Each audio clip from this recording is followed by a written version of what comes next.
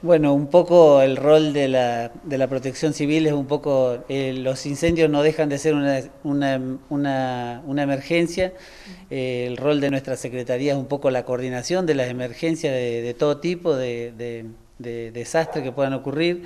Eh, se está trabajando en coordinación, un poco la coordinación de los organismos nacionales, provinciales, el Servicio de Incendios Forestales, con los medios que vienen de, la provincia de Chubut, el municipio de la localidad de Bolsón, que bueno, desde el primer momento eh, vienen siguiendo esta, esta emergencia. ayer en diálogo con la, con la gobernadora, que está en conocimiento de lo que está pasando desde el primer momento, gracias a los informes que hemos tenido del servicio de, eh, del SPLIF.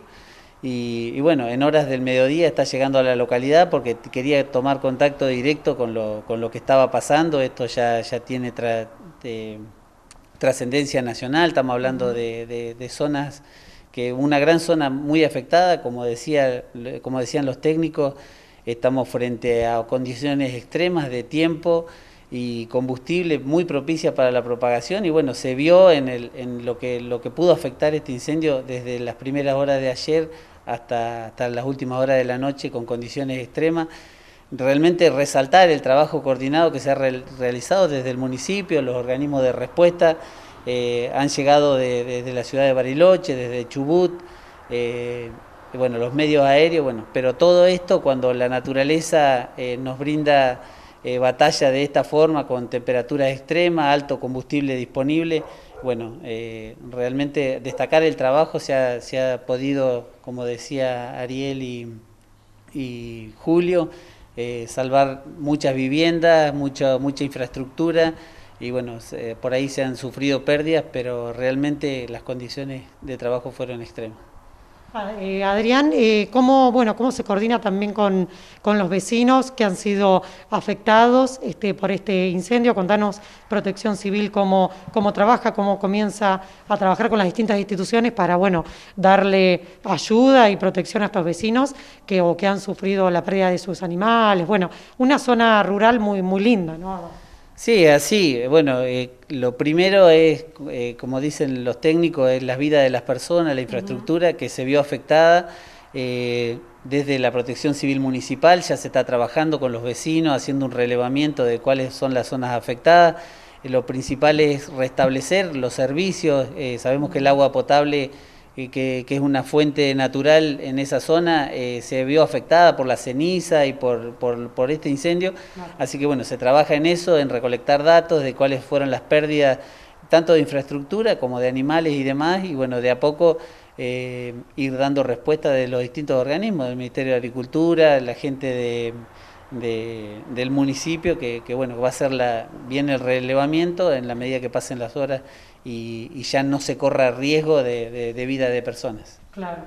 Eh, Leandro, sí, eso que le consultaba Adrián, porque muchos vecinos en el día de ayer estaban pidiendo colectas de agua y demás, y es importante que eh, contemos cómo están trabajando ustedes, las instituciones, que los vecinos no están desamparados, sino que hay todo este, un acompañamiento importante como decía Adrián, porque el tema del agua bueno, se ha complicado con, con la ceniza y con el incendio, ¿no?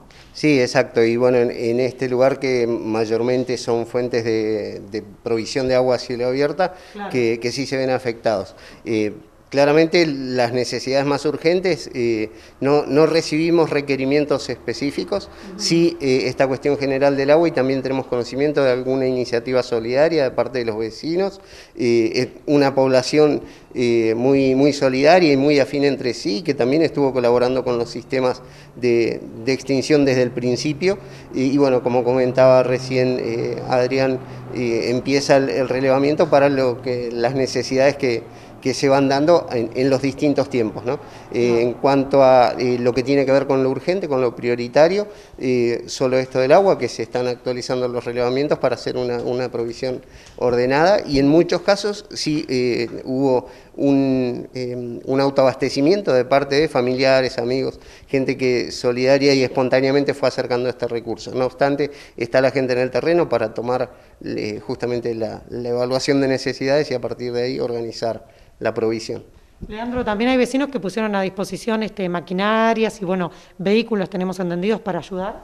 Sí, en principio hay eh, una máquina de un particular que, estaba al servicio de eh, del incendio. Luego, eh, en este contexto, sí, los vecinos quienes tenían transporte de agua también eh, se pusieron a disposición y en algunos casos se abocaron a proteger sus propias viviendas, que esto es también una forma de colaborar con el sistema en su conjunto.